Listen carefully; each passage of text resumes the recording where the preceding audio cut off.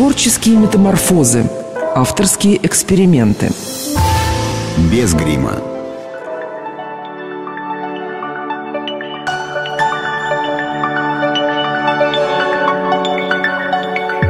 Дорогие друзья, всем добрый вечер. С вами Ирина Лукина.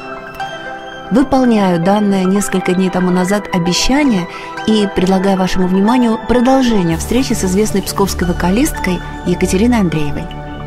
Я не буду пересказывать наш предыдущий разговор, а потому решила, что прежде чем мы продолжим наше сказать общение, предложу вам его небольшую э, ретроспективу.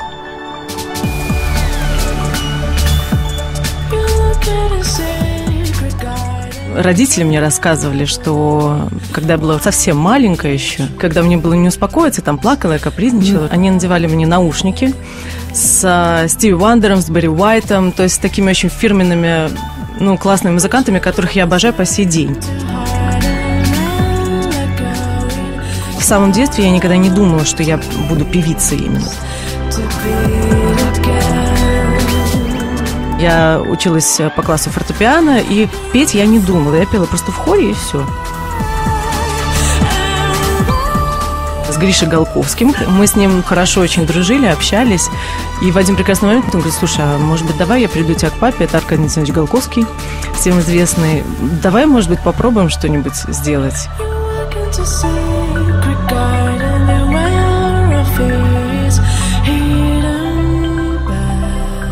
Вот этот э, шаг был первый как раз, когда родители меня услышали, я их позвала на концерт, я безумно волновалась. Я работала еще с Сашей Боярковым, еще мы работали с Денисом Кугаем.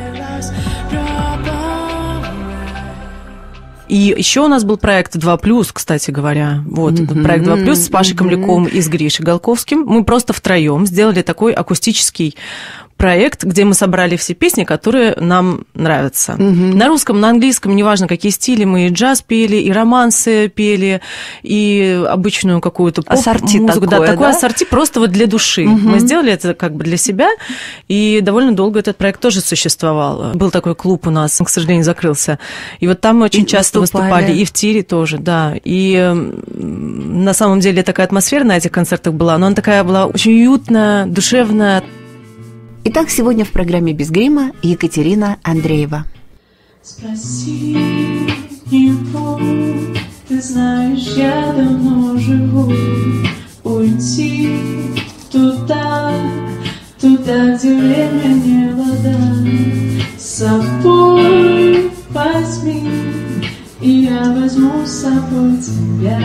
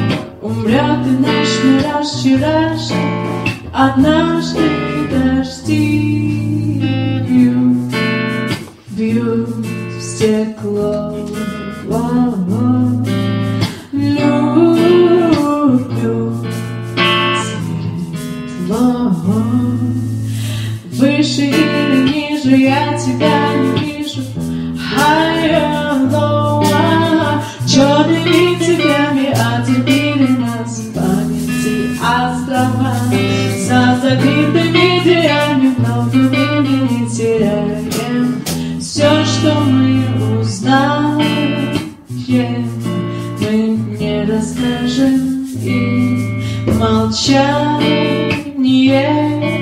Твое во мне растает там на дне тебя. Случайные течения не тут не вы обещания не разводить с Москвы. М-м-м. Не ва, не не не боли, ни жажды. Крылатым умирает каждый Рождая дожди. Не ва, не ва, не не боли, ни жажды И наш вчерашний Однажды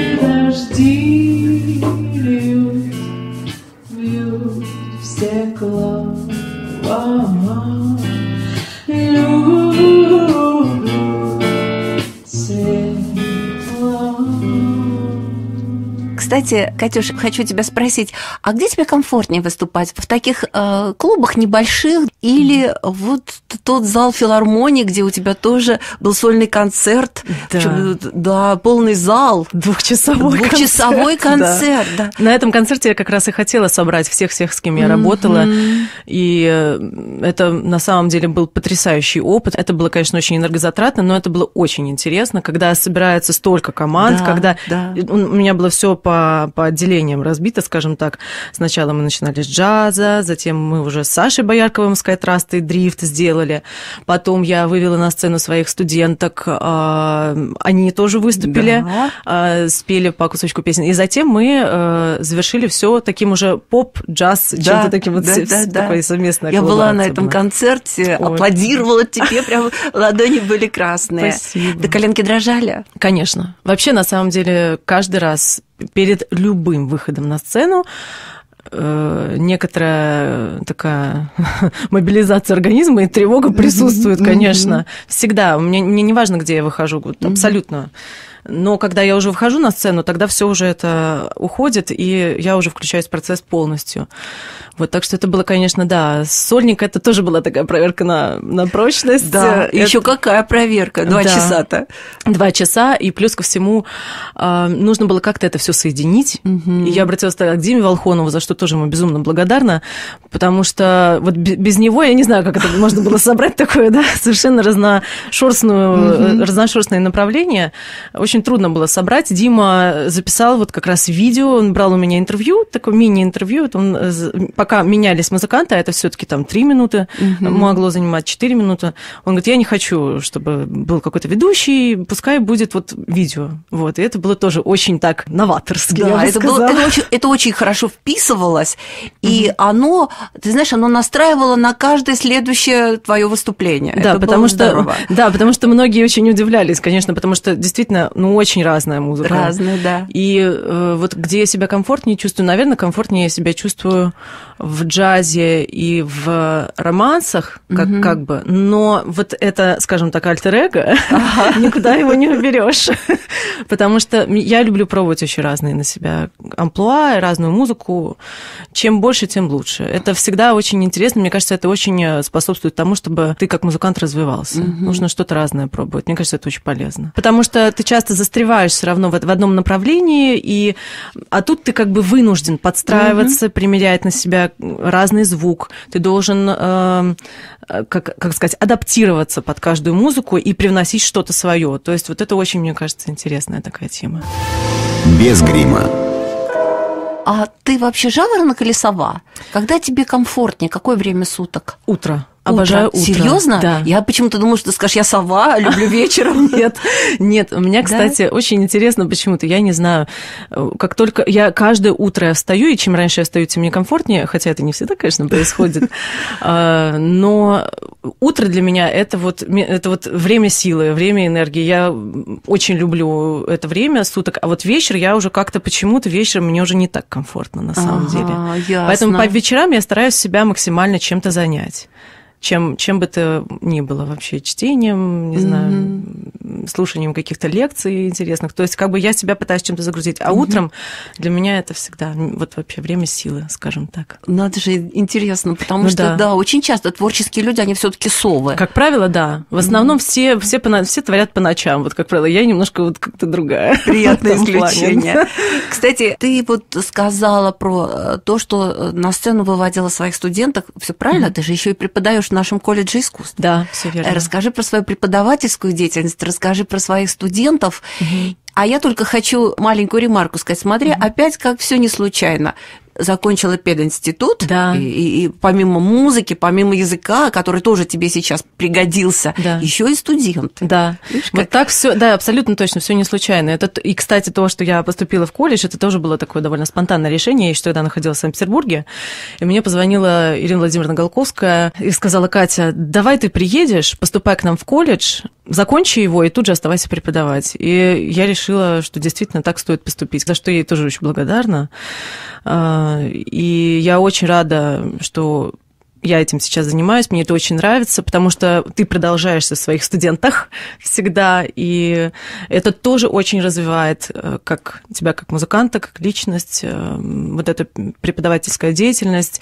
В принципе, ну, я правда вкладываюсь в них по максимуму. Я им отдаю все, что я знаю, все, что я могу, все самое вот лучшее, я стараюсь все вложить в них. А ты э, демократичный преподаватель, если так вот положа руку на сердце, или такая достаточно строгая и попробуйте только не выполните задание? Но на самом деле вот в начале своего пути я была довольно строгая. Но я, наверное, и сейчас я все равно стараюсь держать какой-то стержень, потому что все равно в любом случае должен быть некоторый порядок. То есть творческий процесс творческим процессом, но дисциплину тоже сильно отменять нельзя.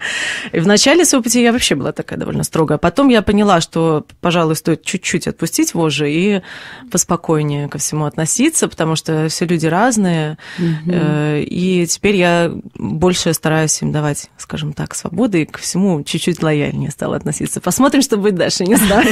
Но ты пока довольна результатом? Да, я очень довольна. Да, я очень довольна, потому что дети у меня очень разные. э, И есть э, ребята, которые пришли, э, скажем так, ну не очень подготовленные. И смотреть на их рост с каждым годом это такое удовольствие. Это просто. И на самом деле, кстати, когда они выходят на сцену, всегда за них переживаешь жестче гораздо, чем за себя. Это, это самая, наверное, стрессовая ситуация, потому что ну, ты сам за себя несешь ответственность на сцене, Да, и все. да. А тут ты все время думаешь, господи, только спой, только вот возьми эту ноту.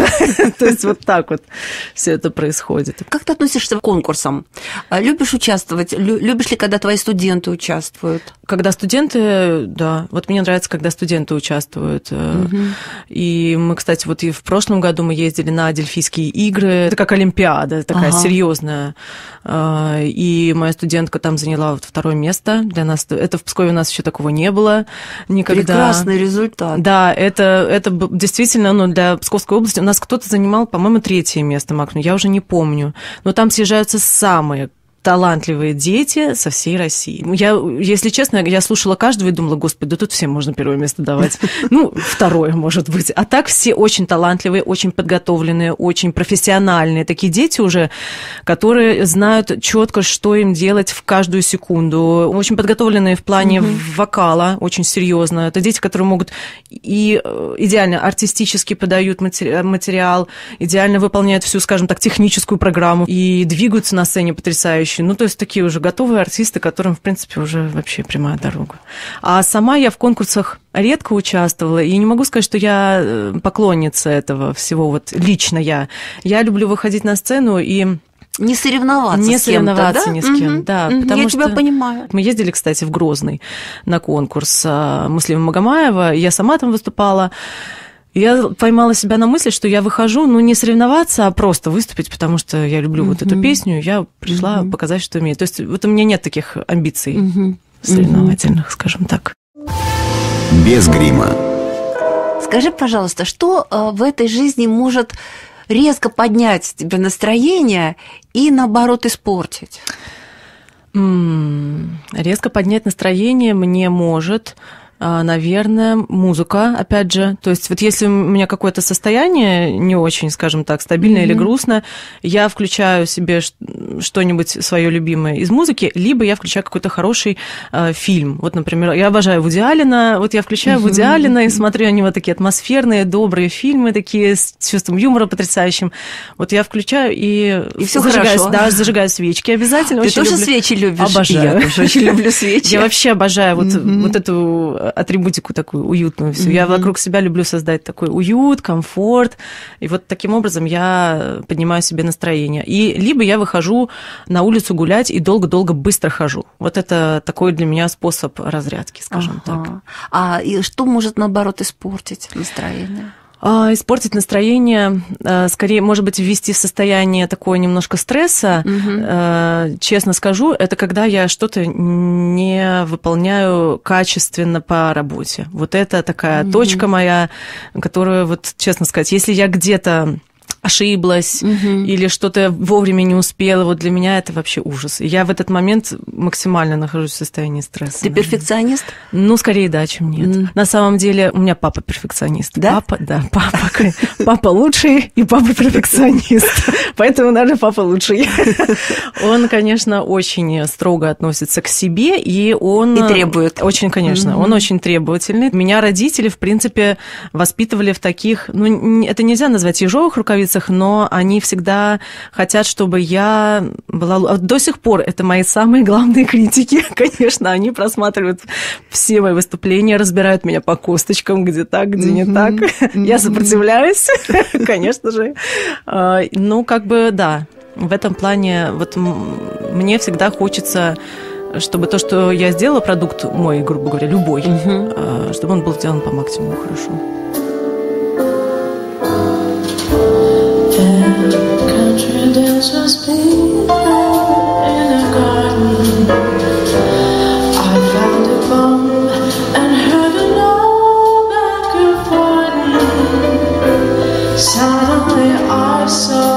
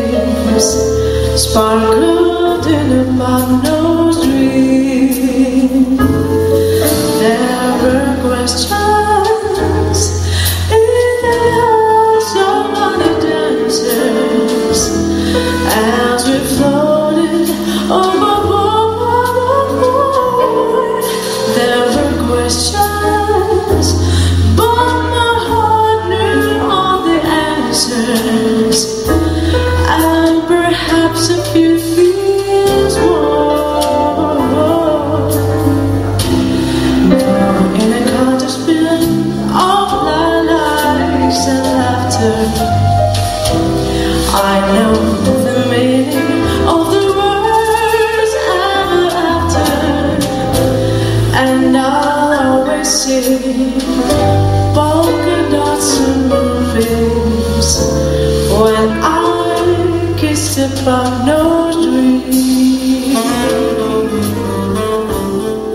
тебя э, представила как Екатерину Андрееву, а вообще ты Екатерина Камалова. Да. И твой муж Мурат Камалов, мой коллега, режиссер нашего телевидения, который, э, собственно, и, я так понимаю, снимал «Мой милый, если б не было войны», да, Да, и «До, «До свидания, свидания, мальчики», мальчики». это все он. Скажи, пожалуйста, вот когда два творческих человека в союзе, это сложно или нет? А, Я думаю, что у нас в этом плане все гармонично. Знаете, вот бывают люди творческие настолько, что они совершенно в быту не приспособлены. да. Наверное, это не совсем про нас. То есть мы все равно в быту очень очень такие обычные, простые люди. У нас нет каких-то перекосов и перегибов серьезных. Поэтому нам очень комфортно. И в то же время а, мы друг друга очень хорошо понимаем. Я не совсем представляю себя не с творческим человеком все-таки.